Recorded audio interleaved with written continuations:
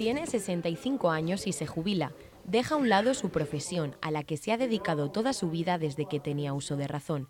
Es Ángel Carrascal de Pedro, un enamorado de las cabras que hoy se retira de este mundo. Yo empecé a ordeñar ovejas hace cuando tenía 8 años. Después me pasé a las cabras, llevo 23 años con las cabras. Entonces era la única forma de vida cuando yo empecé.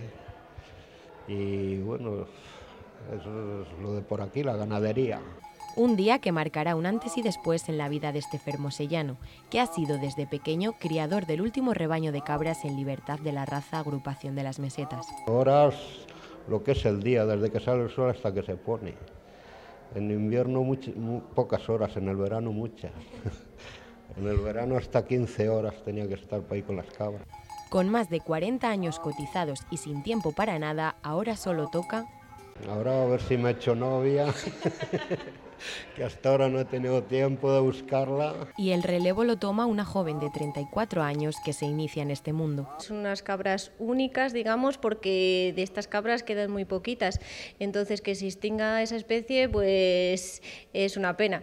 Una despedida y una bienvenida que se ha homenajeado en la Casa del Parque de Fermoselle con un acto promovido por la Universidad de Valladolid.